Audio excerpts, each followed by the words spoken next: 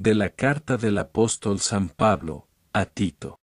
Yo, Pablo, esclavo de Dios y apóstol de Jesucristo, escribo esta carta.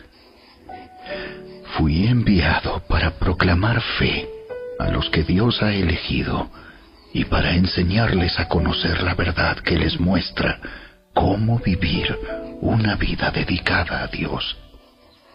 Esta verdad les da la confianza de que tienen la vida eterna, la cual Dios, quien no miente, les prometió antes de que comenzara el mundo.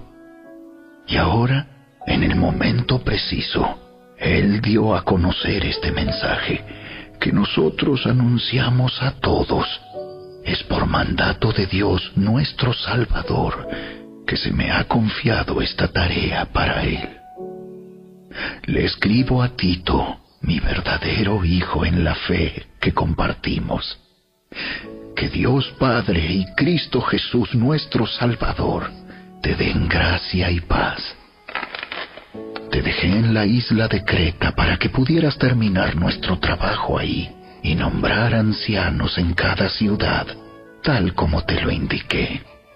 El anciano debe llevar una vida intachable.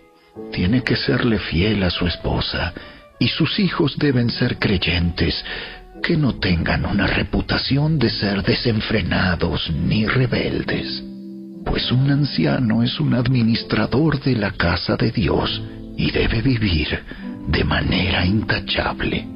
No debe ser arrogante, ni iracundo, ni emborracharse, ni ser violento, ni deshonesto con el dinero.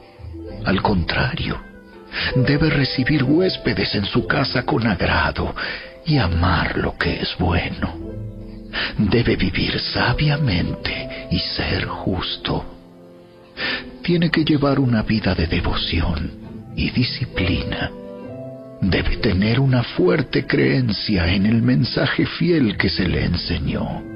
Entonces podrá animar a otros con la sana enseñanza y demostrar a los que se oponen en qué están equivocados. Este es el grupo que viene a tu presencia, Señor.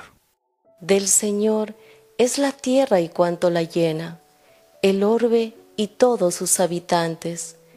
Él la fundó sobre los mares, Él la afianzó sobre los ríos.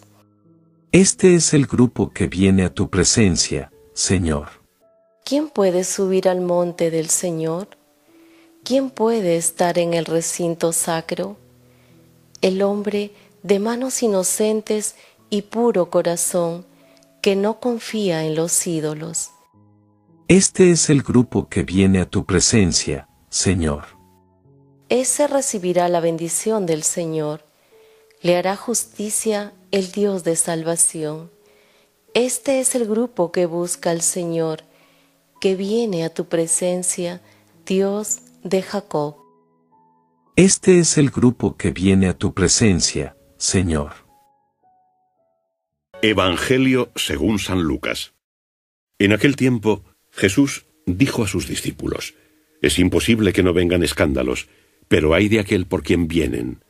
Mejor sería para él que le ajustaran alrededor del cuello una piedra de molino y fuese arrojado al mar antes que escandalizar a uno de estos pequeños. Cuidad de vosotros. Si tu hermano peca, repréndele, y si se arrepiente, perdónale. Y si peca siete veces al día contra ti y otras tantas vuelve a ti diciendo me arrepiento, le perdonarás. Los apóstoles dijeron al Señor, aumentanos la fe. Y el Señor respondió, si tuvierais fe como un grano de mostaza, diríais a este sicómoro, arráncate y plántate en el mar, y os obedecería.